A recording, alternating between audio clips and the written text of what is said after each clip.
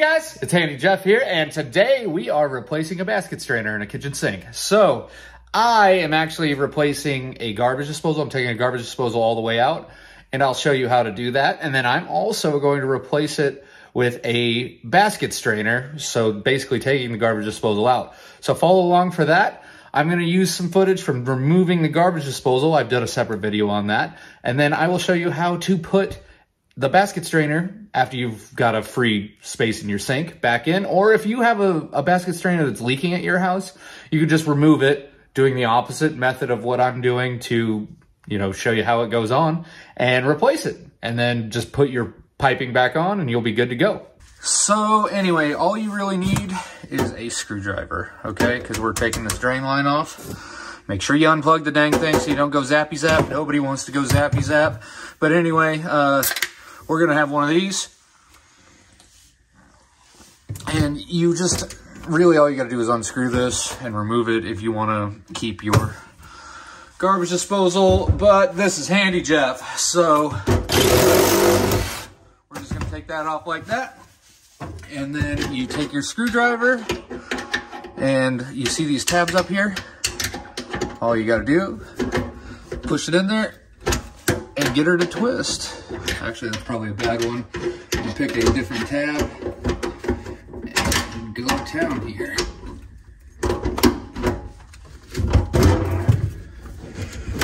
Boom. And we're done. So anyway, in true handy Jeff fashion, I completely forgot to hit the record button, so we have to re-record this. I had to put it back together. We got to take this out, take this off. So all you need is a screwdriver. Get in here and loosen all these up. Once they're loose, bring them down. Bring them all the way down. And then push this up like so everything, and you'll see this little snap ring thing here. I hope you can see that. Let me just zoom in for you here. In fact, I will take you up there to it. There is the snap ring. Right there. And that's what actually holds everything on. So let me bring you back down here. Get you set up. And all we got to do is take our screwdriver, grab a hold of that snap ring. Well, first you can find where, where it's opened up at. So right here, there is a little piece. Pull that snap ring down. Go ahead, get the thing all the way off here. Everything falls down. And then this, it goes straight out of the sink as you can tell. Okay, we're back. We've got the new basket strainer. As you can see, this is what it looks like. I like to use the ones that have the smaller nut on them so you can tighten them with just a normal pair of channel locks. Take that off. We don't need it. Take this off because it goes down below in the bottom of the kitchen sink there. Take all this stuff off. This is the only part we need up top. Everything else can go down in the bottom of the kitchen cabinet. Now we are going to roll ourselves up a plumber's putty snake to go all the way around in this this basket strainer here.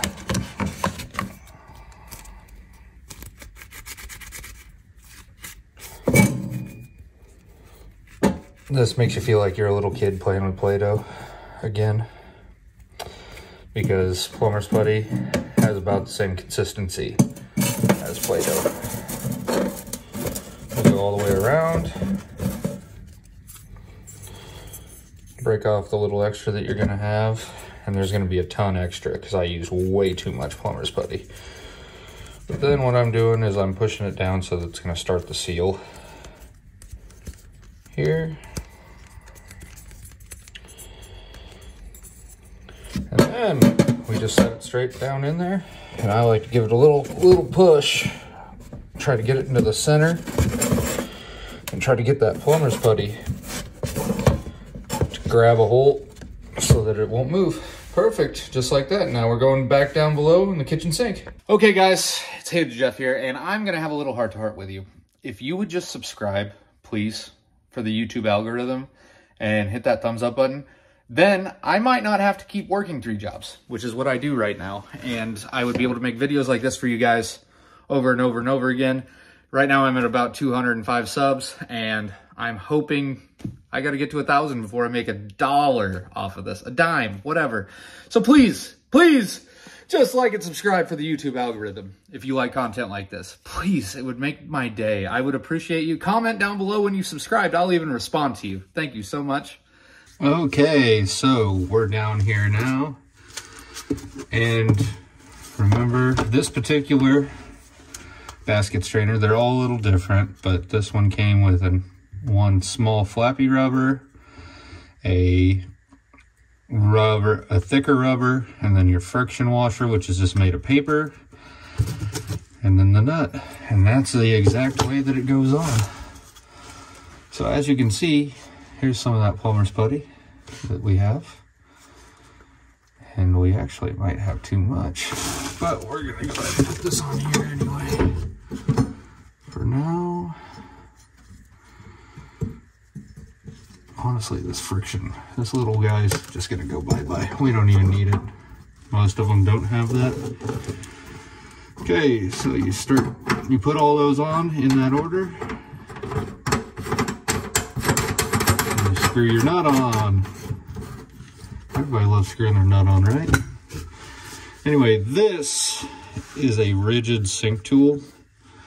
And man, it is a lifesaver. It's got all these different attachments, and we'll go over this in another video. But the most important attachment for right now is this little guy. And it is a sink wrench. As long as it will hold in there just like that. And that way you can keep, you can tighten this nut with a pair of channel locks and hold back up with this so that it doesn't start spinning your actual basket strainer. So let's get these set up so that they'll fit over this nut here. Just like that. We'll shove that in there and then use both at the same time. make sure that you're actually on the nut when you're tightening this because it is very easy to slip off and try to spin the whole basket straight. Like I've done a couple times already. It's especially awkward when you're down in here and have a camera literally right next to you. And you're used to not being in so close to something. When you're working on a sink.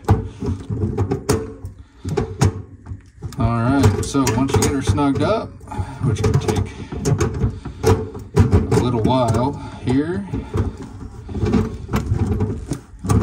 Just got to find a, a method that works for you so you can hold back up and tighten the basket strainer at the same time.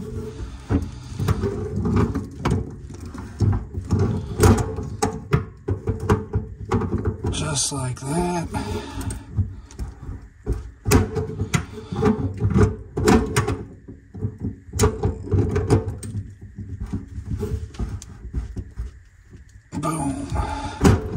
Nice and tight. And you give her, she's pretty snug on there. Make sure it doesn't spin too easily anyway. All this is doing is just holding, so it's okay if that spins. But give her a snug, snug tug, and she's good to go. Okay, so if you are watching this video and essentially all you came for was how to replace that bad boy right there, you're done. Then you would just replace and connect back to your drain. Handy Jeff out.